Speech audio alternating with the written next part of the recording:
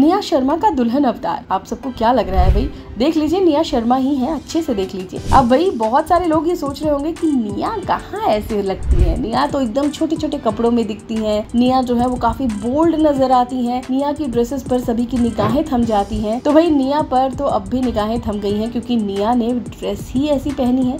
ये ड्रेस नहीं है भाई, ये एथनिक वेयर है। ये है दुल्हन अवतार। तो यहाँ पर निया शर्मा नज़र आई, एकदम एथनिक अवतार में, यानी कि दुल्हन के अवतार में वो नज़र आई और देख लीजिए यहाँ पर इतना बड़ा सा नथ उन्होंने पहन रखा है। बहुत ही ज़्यादा ट्रैक कर रहा है उनका ये नथ और साथ ही साथ यहाँ पर दुल्हन लिबास में वो बहुत सुंदर दिख रही है और प्रॉपर एकदम दुल्हन बनी नज़र आ रही है। अब आप सोच रहे होंगे की भाई, ऐसा क्या हुआ है? तो घबराइए नहीं, वो शादी करने नहीं जा रही है। ना ही किसी फ़ंक्शन में वो ऐसे तैयार होके गई है, बल्कि ये तो है उनकी सीरियल सुहागन चुड़ैल का शूट जी हाँ सुहागन चुड़ैल का शूट चल रहा है यहाँ पर और उनका ये अवतार देखने को मिला। वैसे दुल्हन के लुक में ये अवतार भी काफ़ी बढ़िया लगेगा। यानी कि जो भी दुल्हन अगर न्यू लुक ट्राई करना चाहती है तो निया शर्मा का ये लुक बहुत ही प्यारा है। पहले आप देखिए ये पूरा वीडियो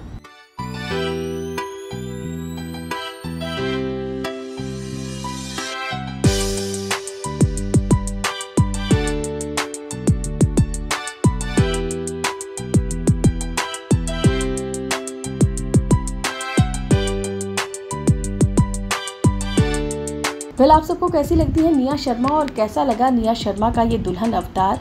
हमें कमेंट करके ज़रूर बताएगा इस वीडियो में बस इतना ही। आप देखते रहिए लक्ष्मी